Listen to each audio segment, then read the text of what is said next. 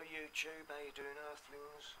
Right, just want to do a quick update on this little fella, E.T. So you might be able to see I've been doing lots of uh, detail work on his, his, basically here and above, so his head and his neck. I want to do some, some maybe some sort of lizard, lizard type markings over his arms and that and I've got a few little tiny little bits I still need to rub down but the main point of this video is his little finger. I'm going to be lighting it up. This is a little bit of um I just had some uh, a big lump of the cast acrylic that I poured or, or that was left over from somewhere. And I cut that out and uh, shaped it up, drilled a hole, a five millimeter hole down in there, and uh, got a little supply of LEDs that I've collected up over my life. Over, I don't know where I got most of them from, to be honest, but out of machines that have died on me, or so I had a load of these these new ones, these are these orange ones, and his end of his finger is orange. Um, hope you can see what I'm doing here. Um, oh, I've got a little switch ready. I bought this battery pack, two AA batteries, but it's too big to put in the base there. So I've ordered a two two triple A battery holder, which will fit.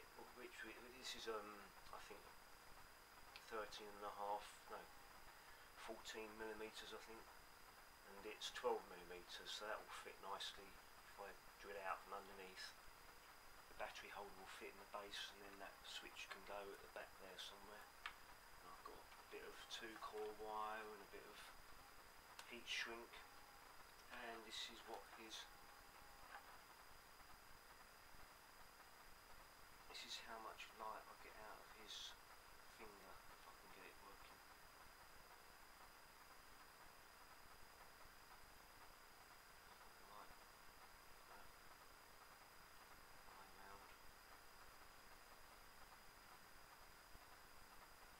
Turned on, yes, that's turned on. Well, it was working earlier on touching each other. Yeah, they're touching each other. That's probably why it's not working.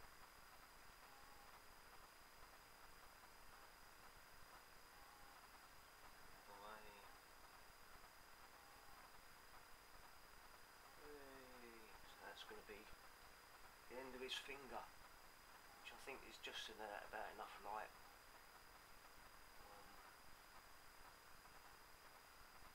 I can't see that it's much different to how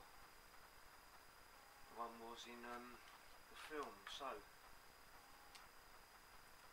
he's going to have a little bit more detailing done then I can start doing the painting. Well once I've done the so I'm going to have to chop the end of his finger off do a little groove down his finger and down his arm coming up around there probably and down here maybe and then down into the down into the base underneath and uh, then I'll sort out the painting and that afterwards but I think I hope you'll agree that he's coming on well. Um, certainly a, a lot different to my effort in no, it must have been 2000, no, 1983 I think I made this one at school. I've even got a it was in the, um, the school display at you know the end of year display. How old does it on there I can't read 15 years maybe don't know, 15 year old.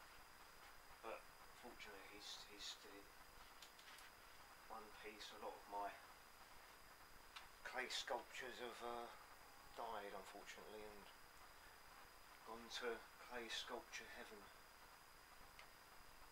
Anyway, I think he's a bit of an improvement. What do you think? Hope you like this little video and take care and I'll speak to you soon.